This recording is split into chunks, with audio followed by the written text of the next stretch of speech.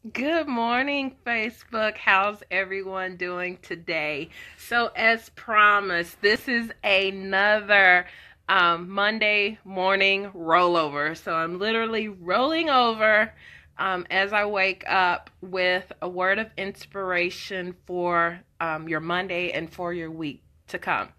So, this morning, here, hello, Eric. How are you? Hello, Jason. How are you? So, this morning, um, a friend of mine. Hi, Christopher. Hi, Grother. Um, so this morning, um, I asked a friend to give me some inspiration. And um, so this poem is what came about. And I'll read it to you. Hello, Daph- Daphne. Hello, Samantha. How's everyone doing this morning? And it's called See It Through by Edgar Albert Guest. So I'm going to read it for you. Okay? When you're up against a trouble, meet it squarely face to face Lift your chin and set your shoulders. Plant your feet and take a brace. When it's vain to try to dodge it, do the best that you can do. You may fail, but you may conquer. See it through. Black may be the clouds about you, and your future may seem grim, but don't let your nerve desert you. Keep yourself in fighting trim.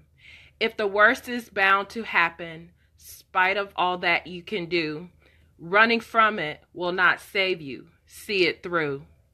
Even hope may seem but futile when with troubles you're beset.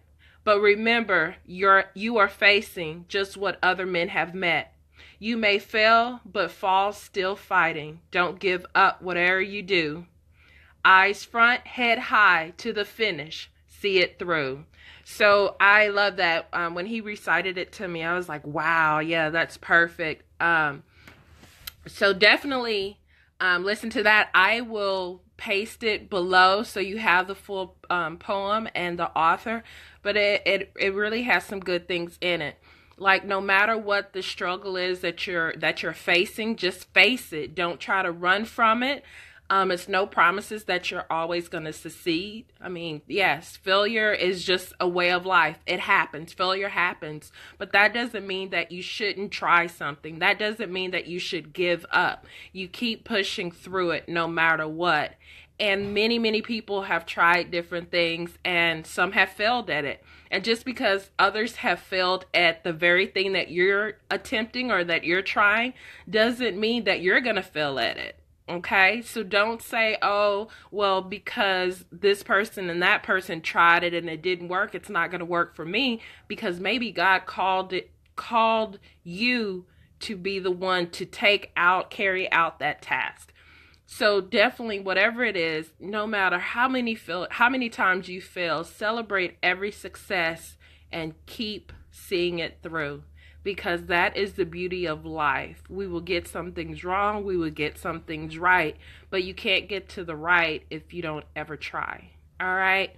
So that's our quick Monday morning rollover inspiration. Like I said, I will paste it below.